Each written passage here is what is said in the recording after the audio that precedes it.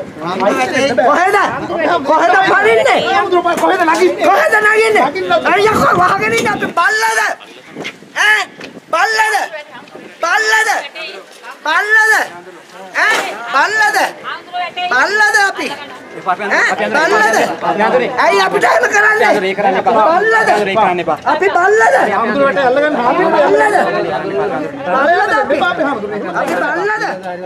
அனைவருக்கும் வணக்கம் மீண்டும் ஒரு புதிய கர்மம் விழுந்த வீடியோவில் உங்களை சந்திக்கிறது என்ன மன்னிச்சு கொள்ளுங்க முதல்ல சிங்கள மக்கள் என்ன மன்னிச்சு கொள்ளுங்க இந்த கர்மம் விழுந்த வீடியோவை நீங்க எல்லாரும் பார்த்திருப்பீங்க இதற்கு ஒரு பதிலுடுப்பம் என்ற காத்தார் இந்த வீடியோ எப்படின்னு பார்த்தீங்களா இருந்தா அதாவது இந்த பிக்கு.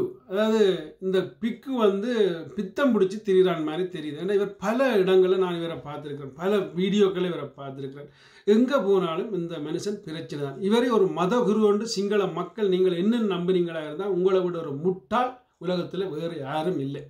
ஏனெண்டா ஒரு மத குரு என்ற இருக்க வேண்டிய நிலையில் இவர் இல்லை. இவர் ஒரு ரவுடி. இவர் ஒரு புல்லாத ரவுடி. சிங்கள காடையர். அப்படியே சொல்லலாம்.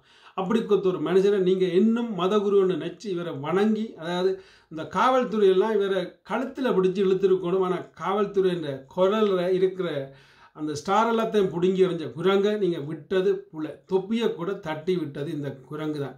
இந்த குரங்கால் இந்த நாட்டில் திருப்பியும் ஏதோ ஒரு பிரச்சனை உருவாகிறதுக்கு வாய்ப்பு இருக்குது அதாவது இந்த நாடு வந்து நாசமாக போகிறதுக்கு முதல்ல இந்த புத்த பிக்குகள்லாம் காரணம். அதை சிங்கள மக்கள் முதல் பிரிஞ்சு கொள்ளணும். சிங்கள அரசாங்கம் அது கர்மம் விழுந்தது தன் லாபத்துக்காக செய்யுது. சிங்கள அரசாங்கம் அதாவது இந்த நாட்டில் வந்து முதலாவது கொடூரமாக தாக்கப்படுறேன்னா அது தமிழர் தான். இதே இது ஒரு ஐயர் வந்து செய்திருந்தா இன்றைக்கு ஐயற்ற நிலை அவ்வளவு தான் அடி அல்ல சூடு. அதுதான் நடந்திருக்கு. ஆனால் இந்த கர்மம் விழுந்த பிக்கு செய்தபடியால் அவருக்கு பொலிசு தூக்கி தடவி கொண்டு இருக்குது நார்மலாக தூக்கி தடவுறதை விட இழுத்து இழுத்து இருக்கணும் இந்த கர்மம் விழுந்தவனை. சரி அதுதான் போனால் போகுது. அதாவது என்ன காரணத்துக்காக இந்த கூத்து? அதுக்கு என்ன என்ன பிரச்சனை இப்போ? ஒரு நாட்டில் இருக்கிற இரண்டு மனுஷர்களும் இப்போ யுத்தம் முடிஞ்சு பல ஆண்டு ஆச்சு இப்போ என்ன புலி வரப்போதுன்ற ஒரு புது பேச்சு. அதற்காகவா? இல்லாட்டி காணி பயமுண்டா சட்டம் தரக்கூடாண்டாக்காக இல்லாட்டி அந்த கோயில் கட்டக்கூடாண்டாக்கா என்ன கர்மத்துக்காக இந்த கூத்து? அதாவது இந்த ஜேர்மனான ஜெர்மன்லேயே இவ்வளவோ ஒரு பெரிய கோயிலை கட்ட விட்டிருக்கிறார்கள் இந்த ஜேர்மன் நாட்டவர்கள். இந்த இங்கிலாண்டில் எத்தனை கோயில் இருக்குது? இந்த கிறிஸ்தவ நாடுகளில் இவ்வளவோ கோயில் இருக்குது. அல்லது என்னென்ன எல்லாம் இருக்குது? ஆனால் உங்கொண்ட இடங்களில் மட்டும் ஏன் ஒரு கோயிலுக்காக இப்படி கர்மம் விழுந்து அடிபடுறீங்க? தமிழற்ற கோயில் தமிழற்ற கோயிலாக இருக்கட்டும். உங்கள்ட புத்த சிலை உங்களோட புத்த சிலையாக இருக்கட்டும். அந்த கர்மத்தை ஏன் தமிழற்ற கோயிலில் தான் உங்களோட புத்த சிலையை கொண்டு திணிக்கணும்னு நினைக்கிறீங்க? அதுதான் எனக்கு புரியலை. மொத்தத்தில் தமிழ் மக்களே உங்கள் உள்ள தமிழர்கள் ஒன்று ஒன்று புரிஞ்சு கொள்ளுங்க.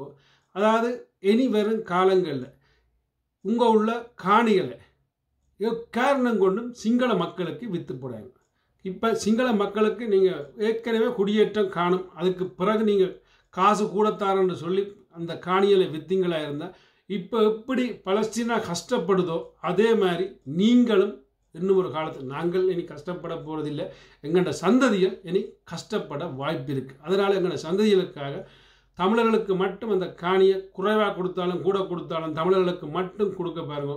விலை கூடத்தார்னு சொல்லி சிங்களவர்களுக்கு கொடுத்தீங்களே இருந்தால் அதாவது சிங்கள மக்கள் இதை கோவிச்சாலும் பரவாயில்லை. ஏன்னா அவர்கள் இருக்கிற சுயநலத்தை விட நாங்கள் நாங்கள் இன்னும் அது இல்லை. உண்மையை சொல்ல போனால் மொத்தமாக சுருக்கி சொன்னால் தமிழர்கள். அதாவது இவ்வளவு கேவலமானவர்களும் இல்லை இவ்வளவு கொடூரமானவர்களும் இல்லை. அது மட்டும் எனக்கு புரியுது இந்த வீடியோ பார்க்கல அதாவது இவ்வளவு பணிவும் பண்பும் நிறைஞ்சவர்கள் தமிழர்கள். அப்படி கொத்த எங்களை இந்த கர்மம் விழுந்த பிக்கு மாதிரிதான் உங்கள் திசை திருப்பி கொண்டிருக்கிறார்கள் டென்ஷன் ஆக்குறார்கள்.